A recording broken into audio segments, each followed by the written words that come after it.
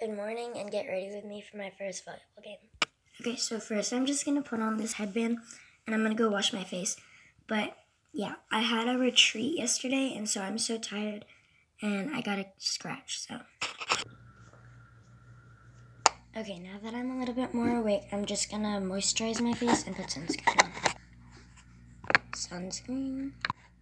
And then I'm just gonna go in with a little bit of mascara and then some eyebrow gel. And then I'm going to put on a little bit of powder, just like on my face. And then just a little bit of blush. And then I'm just going to spray it with setting spray. And then let's do my hair. I'm just going to spray it with a little bit of water and some detangler. And then I'm going to comb it out. It's so much easier this way. And then I'm just using my wet brush and then some deodorant. And then I'm going to go eat breakfast. Cinnamon rolls for the win.